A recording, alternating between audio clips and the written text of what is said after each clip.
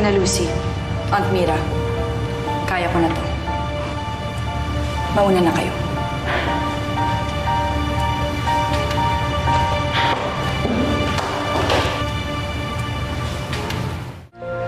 Ano pa dapat ang kailangan nating pag-usapan?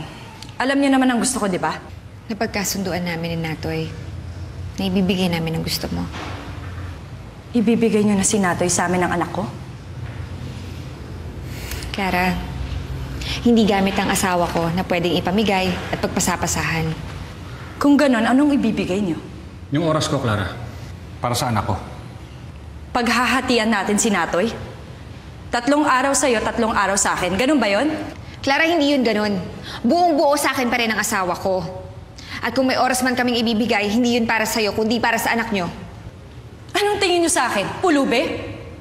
Tumatanggap lang ng tira-tira? Kung ano sa anak ko, yun din ang para sa akin.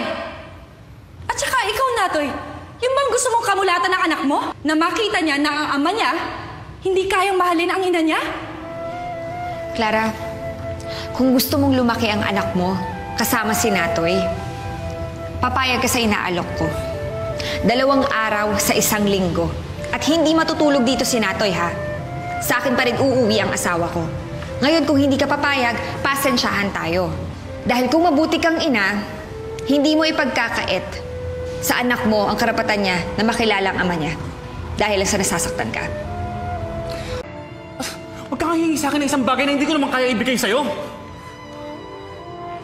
Clara, mahal ko yung anak ko pero hindi ibig sabihin nun, mahal kita! Tanggapin mo yun dahil si Irene ang mahal ko. Natoy, tama na.